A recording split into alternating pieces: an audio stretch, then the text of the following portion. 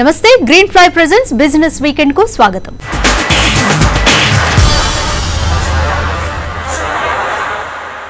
ఐపీఓలకు సంబంధించి కంపెనీల ఇష్టారాజ్యానికి బ్రేక్ వేస్తూ మార్కెట్ రెగ్యులేటర్ సెబీ కొత్త మార్గదర్శకాలను విడుదల చేసింది. సెబీ తీసుకున్న తాజా నిర్ణయంతో ఐపీఓ ద్వారా సమీకరించిన నిధులను కంపెనీలు ఇష్టం వచ్చినట్లు ఖర్చు చేసేందుకు వీలు లేదు. దీంతో పాటు యాంకర్ ఇన్వెస్టర్లకు సంబంధించిన నిబంధనలను కూడా మరింత కఠినతరం చేస్తూ సెబీ నోటిఫికేషన్ని జారీ చేసింది.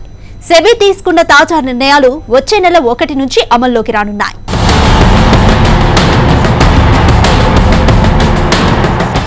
ఐపీఓ నిధులను ఇష్టం వచ్చినట్లు ఖర్చు చేయకుండా సెబీ నిబంధనలు మరింత కఠినతరం చేసింది. దీంతో ఏప్రిల్ ఒకటి నుంచి నిధులను సమీకరించే ప్రతి కంపెనీ తాము వెచ్చించే నిధులకు సంబంధించి ప్రతి పైసాకు లెక్కాపత్రం చెప్పాల్సిందే. ఐపీఓ ద్వారా సమీకరించిన నిధులను గుర్తింపు లేని సంస్థలు లేదా ఇతర కొనుగోళ్ళకు వినియోగించడంపై సెబీ ఆంక్షలు విధించింది.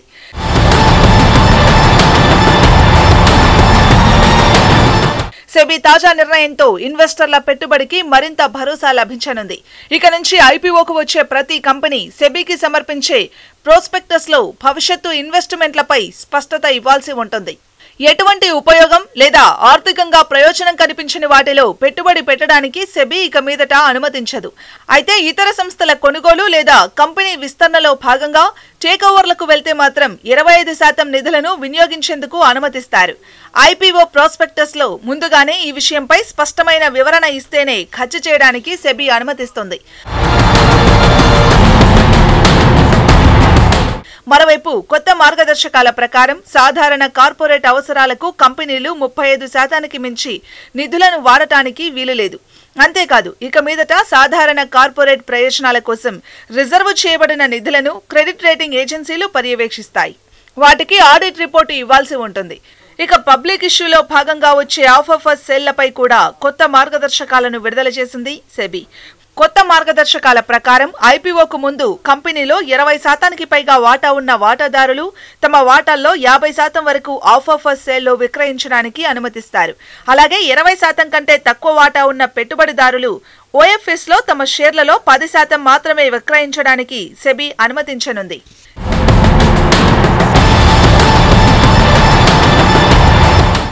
ఇన్వెస్టర్లకు కేటాయించిన యాభై శాతం పోర్షన్లో ముప్పై రోజుల లాక్ ఇన్ కొనసాగుతుందని మిగిలిన భాగానికి తొంభై రోజుల లాక్ ఇన్ ఉంటుందని సెబీ తెలిపింది.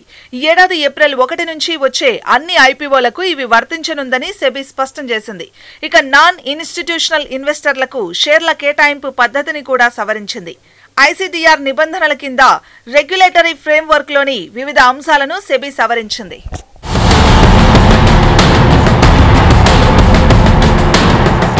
Artificial intelligence software platform and solutions company Kore dot AI విస్తరణపై దృష్టి పెట్టింది. హైదరాబాద్లోని అరవిందో గెలాక్సీ టవర్లో అత్యాధునిక మౌలిక సదుపాయాలతో కొత్త కార్యాలయాన్ని ఏర్పాటు చేసినట్లు కో డాట్ ఏఐ ప్రకటించింది. మొత్తం ఫైవ్ హండ్రెడ్ సీటింగ్ సామర్థ్యంతో ఈ కార్యాలయాన్ని ఏర్పాటు చేసినట్లు Kore dot AI founder CEO Raj Koneru తెలిపారు. కన్వర్జేషనల్ ఏఐ టెక్నాలజీ పురోగతికి తాము కృషి చేస్తామని గ్లోబల్ రీసెర్చ్ హబ్గా ఈ కార్యాలయం కొనసాగుతుందని ఆయన చెప్పారు. హైదరాబాద్లో ఏర్పాటు చేసిన ఈ కార్యాలయ అభివృద్ధికి వచ్చే ఆర్థిక సంవత్సరంలో నూట ఎనభై ఐదు కోట్ల రూపాయలను ఇన్వెస్ట్ చేయనున్నట్లుగా కంపెనీ ప్రకటించింది. ప్రస్తుతం Japan South Korea North America South అమెరికాల్లో వంద మంది ఉద్యోగులు పనిచేస్తున్నారని భారత్లో నాలుగు వందల యాభై మంది ఉద్యోగులు సేవలందిస్తున్నారని కోడ్ డాట్ ఏఐ వెల్లడించింది. త్వరలోనే తమ ఉద్యోగుల సంఖ్యను పదకొండు వందల మందికి పెంచడానికి ప్లాన్ చేస్తున్నట్లు తెలిపింది. ఇక smart assist agent assist bank assist health assist search assist work assist HR IT assist వంటి సేవలను ఆయా కంపెనీల అవసరాలకు అనుగుణంగా అందిస్తామని Kore dot AI founder CEO Raj Koneru చెబుతున్నారు. ఇక ఈ వారం స్టాక్ మార్కెట్లపై విశ్లేషణ అలాగే ఒడిదుడుకుల మార్కెట్లో ఎలాంటి స్ట్రాటజీని అవలంబించాలి? మీడియం టర్మ్లో ఏ ఏ సెక్టార్స్లో ర్యాలీ ఉండొచ్చు అనే అంశంపై Wealth Mills Securities equity strategist Kranthi Battini విశ్లేషణను ఇప్పుడు చూద్దాం. ఇండియన్ మార్కెట్ కనుక విశ్లేషించినట్లయితే ప్రస్తుతం మార్కెట్స్ ఒక వాలటైల్ జోన్లోనే ఉన్నాయి. మనకి నిఫ్టీ సెవెంటీన్ థౌసండ్ లెవెల్ అనేది చాలా క్రూషియల్ సపోర్ట్ జోన్ కింద చూడాలి. ఎందుకంటే సెవెంటీన్ థౌసండ్ అనేది ఒక two hundred day moving average. నిఫ్టీకి ఒక స్ట్రాంగ్ సపోర్ట్ జోన్ కింద ఉండడం జరిగింది. యాజ్ లాంగ్ యాజ్ నిఫ్టీ కనుక సెవెంటీన్ థౌసండ్ అబవ్ లెవెల్స్లో కనుక్కుంటే కనుకుంటే మార్కెట్స్ ఒక పాజిటివ్ టెరిటరీలోనే ఉండడానికి అవకాశాలు ఉన్నాయి. మనకి ప్రస్తుతం గ్లోబల్ ఫ్యాక్టర్స్ అంతేకాకుండా క్రూడ్ ఆయిల్ అనేది మెయిన్ ఇంపార్టెంట్ ఫ్యాక్టర్ కింద బిహేవ్ చేస్తుంది.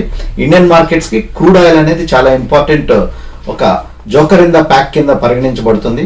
సో అందువల్ల క్రూడ్ ఆయిల్ ధరలు గనక ఒక ఫిఫ్ హండ్రెడ్ డాలర్స్కి బిలో గనక స్టెబిలైజ్ అయ్యి ఎయిటీ టు నైంటీ డాలర్స్ జోన్లో గనక ఉంటే గనక ఒక పాజిటివ్ ఫ్యాక్టర్ కింద చూడాలి. ఫెడరల్ రిజర్వ్ కూడా అంత అగ్రెసివ్గా వడ్డీ రేట్లని పెంచడానికి అవకాశాలు తక్కువగా ఉన్నాయి. అందువల్ల మనం ప్రస్తుతం క్రూడ్ ఆయిల్ షార్ట్ టర్మ్లో మార్కెట్ మీద ప్రభావితం చేయనుంది. ప్రస్తుతం ఇన్వెస్టర్స్ ఏ స్టాక్స్లో మార్జిన్ ఆఫ్ సేఫ్టీ అనేది ఎక్కువ ఉంది? ఆ కంపెనీస్ యొక్క ఎర్నింగ్స్ రానున్న రోజుల్లో ఏ రకంగా ఉన్నాయి? మనం థర్టీ ఫస్ట్ మార్చి క్లోజ్ అయిన తర్వాత మళ్ళీ తిరిగి క్యూ ఫోర్ క్వార్టర్ అనేది రిజల్ట్స్ అనేవి స్టాక్ మార్కెట్ మీద స్టాక్స్ ప్రైసెస్ మీద ఎక్కువ ప్రభావితం చేయనున్నాయి. ఈ కంపెనీస్ యొక్క రిజల్ట్స్ ఏ రకంగా ఉన్నాయి? సో ఆ కంపెనీస్ కనుక ఎక్సెసివ్గా పెరిగినట్లయితే ప్రస్తుతం మార్కెట్ కండిషన్స్లో ప్రాఫిట్ బుక్ చేసుకోవడం మంచిది. అంతేకాకుండా ఏ స్టాక్స్ అయితే ఎక్కువగా తగ్గి ఉన్నాయి. ఆ కంపెనీస్ యొక్క మార్జిన్ ఆఫ్ సేఫ్టీ కనుక ఎక్కువగా ఉంటే కనుక అటువంటి స్టాక్స్లో మళ్ళీ తిరిగి ఈ షార్ట్ టర్మ్లో మళ్ళీ రీఎంటర్ అవడానికి మంచి అవకాశం కింద మనం చూడాలి. ఒక ఎప్పుడైనా ఇన్వెస్టర్స్ మార్జిన్ ఆఫ్ సేఫ్టీకి హై ప్రయారిటీ ఇవ్వాలి. ఎందుకంటే మార్జిన్ ఆఫ్ సేఫ్టీ కనుక హైగా కనుక ఉంటే కనుక ఆ స్టాక్స్లో ఇన్వెస్టర్స్కి రానున్న రోజుల్లో మార్కెట్స్ తిరిగి రీబౌండ్ అయినప్పుడు మార్జిన్ ఆఫ్ సేఫ్టీ హైగా ఉన్న స్టాక్స్లో లాంగ్ టర్మ్లో రివార్డ్ అవడానికి ఈ స్టాక్స్ పనిచేస్తాయి. సెక్టోరియల్ పరంగా చూసినట్లయితే ఆల్టర్నేటివ్ ఎనర్జీ సెక్టర్ స్టాక్స్ని లో ఉంటే కనుక ఇన్వెస్టర్స్కి మంచి రిటర్న్స్ రావడానికి అవకాశాలు ఉన్నాయని చెప్పడం జరిగింది. అంటే స్టాక్స్ లైక్ బీసీఎల్ ఇండస్ట్రీస్ని మనం దివాళీ పిక్ కింద ఇవ్వడం జరిగింది. ఆ stock nearly hundred percent profits రావడం జరిగింది. ఇన్వెస్టర్స్కి హండ్రెడ్ పర్సెంట్ ప్రాఫిట్స్ కనుక వచ్చినట్లయితే ఇన్వెస్టర్స్ అటువంటి స్టాక్స్లో ప్రాఫిట్స్ తీసుకోవడం మంచిది. అంతేకాకుండా గె- ఇండస్ట్రియల్ స్టాక్స్ కూడా మనం అడ్వైజ్ చేయడం జరిగింది. అటువంటి స్టాక్స్లో కూడా మంచి రిటర్న్స్ రావడం జరిగింది. అంటే లిండే ఇండియా లాంటి గ్యాస్ స్టాక్స్ని నియర్లీ సెవెంటీన్ హండ్రెడ్ రూపీస్లో అడ్వైజ్ చేస్తే ఈ ప్రస్తుతం త్రీ థౌజండ్ ఫైవ్ హండ్రెడ్ లెవెల్లో ఉండటం జరిగింది. అటువంటి స్టాక్స్లో కూడా ఇన్వెస్టర్స్ క్యాపిటల్ కనుక తీసుకున్నట్లయితే మళ్ళీ తిరిగి స్టాక్ ప్రైసెస్ మోడరేట్ అయినప్పుడు తిరిగి రీఎంటర్ అవడానికి మంచి అవకాశంగా చూస్తున్నాం. అంతేకాకుండా ఏ స్టాక్స్లో ఎక్కువైతే మార్జిన్ ఆఫ్ సేఫ్టీ ఉందో అటువంటి స్టాక్స్లో ఈ క్యాపిటల్ని తీసుకెళ్తే కనుక రానున్న రోజుల్లో మంచి రిటర్న్స్ రావడానికి అవకాశాలు ఉన్నాయి. హైదరాబాద్లో ఏవియేషన్ షో విజయవంతంగా జరుగుతోంది. ఈ కార్యక్రమాన్ని కేంద్ర మంత్రి జ్యోతిరాదిత్య సింధియా లాంఛనంగా ప్రారంభించారు. పౌర విమానయాన రంగంలో కొనుగోలుదారులు విక్రయదారులు ఇన్వెస్టర్లు ఇతర భాగస్వాములను ఒక వేదికపైకి తీసుకొచ్చే ఉద్దేశంతో ఈ ప్రదర్శనను నిర్వహిస్తున్నారు.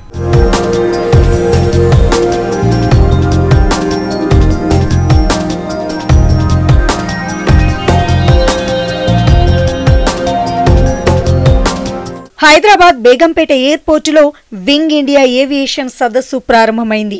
ప్రతి రెండేళ్ళకు ఒకసారి జరిగే ఈ సదస్సును కేంద్ర పౌర విమాన మంత్రిత్వ శాఖ ఫికీలు సంయుక్తంగా నిర్వహిస్తున్నాయి.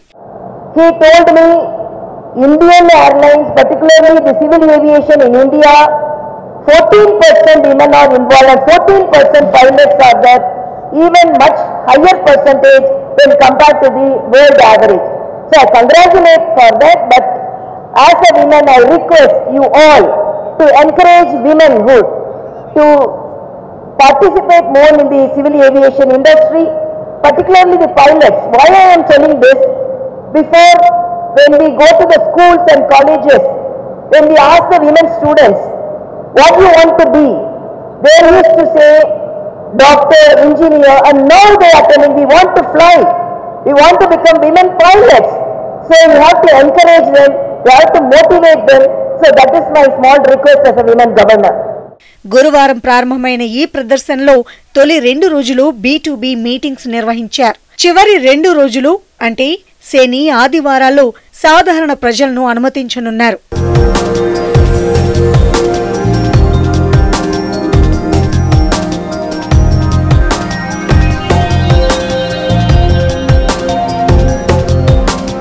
హైదరాబాద్లో జరుగుతోన్న ఈ ఏవియేషన్ షోను రెండో రోజు కేంద్ర మంత్రి జ్యోతిరాదిత్య సింధియా లాంఛనంగా ప్రారంభించారు. రానున్న రోజుల్లో ప్రతి ఏటా నూట పది నుంచి నూట ఇరవై కొత్త విమానాలను భారత విమానయాన సంస్థలు నిర్వహించే యోచనలో ఉన్నట్లు ఈ సందర్భంగా ఆయన చెప్పారు. ప్రస్తుతం భారత్లో రికార్డు స్థాయిలో విమాన ప్రయాణికుల సంఖ్య పెరుగుతోందని ఆయన తెలిపారు.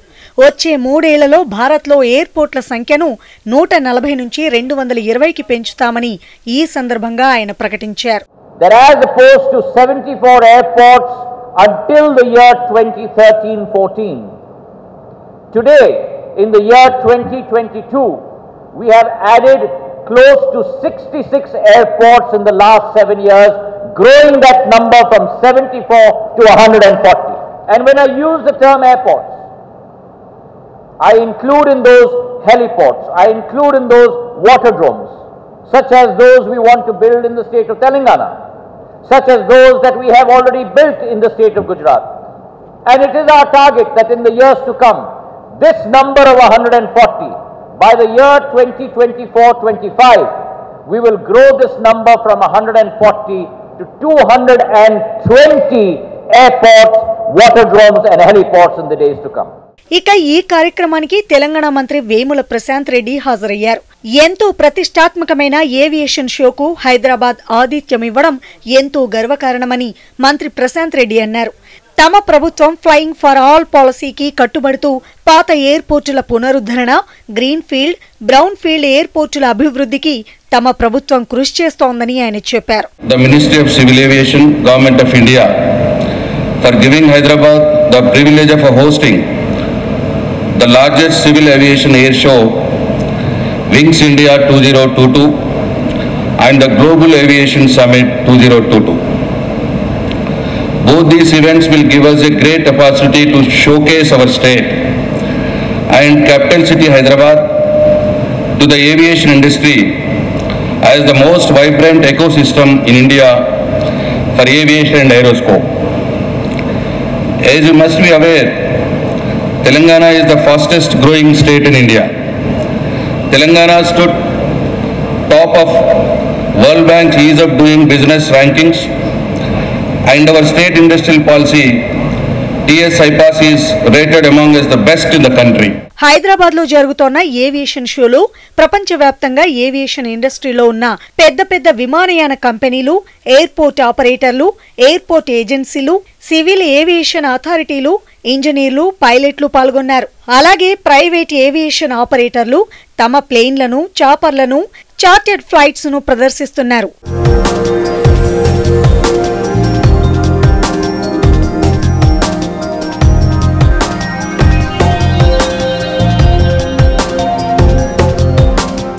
వచ్చే రెండు దశాబ్దాలు కూడా ప్రపంచంలోనే అత్యధిక వేగంగా అభివృద్ధి చెందుతున్న మార్కెట్గా ఇండియన్ ఏవియేషన్ ఇండస్ట్రీ కొనసాగనుందని ఎయిర్ బస్ ధీమా వ్యక్తం చేసింది. భారత్లో విమాన ప్రయాణికుల సంఖ్య ఏటా ఆరు పాయింట్ రెండు శాతం చొప్పున పెరుగుతుందని ప్రపంచ సగటు వృద్ధి రేటుతో పోలిస్తే ఇది చాలా అధికమని వెల్లడించింది.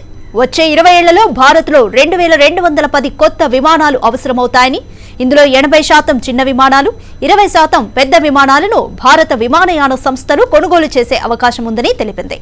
సుదీర ప్రాంత విమానయాన సేవలపై భారత విమానయాన సంస్థలు దృష్టి పెట్టాలని ఇందుకు ఎయిర్బస్కు చెందిన ఏ త్రీ ఫిఫ్టీ విమానాలు చక్కగా సరిపోతాయని Airbus India దక్షిణాసియా MD and president Remi Maillard తెలిపారు The second key success factor is to develop, to promote a competitive environment for all stakeholders across the aviation value chain, meaning enabling taxation regime and the appropriate access to financing.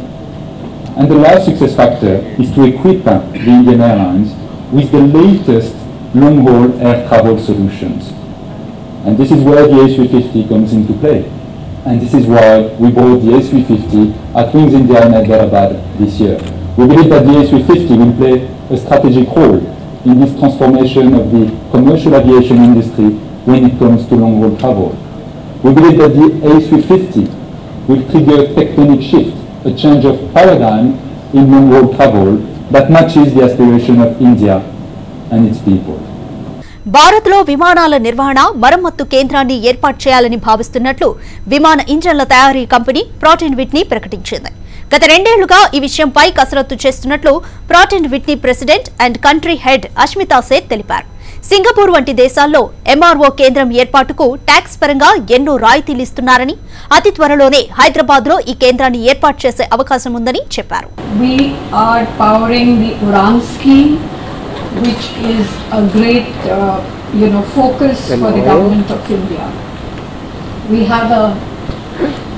Customer training center our flagship training center one of the three outside, one of the two outside of the US, right here in Hyderabad.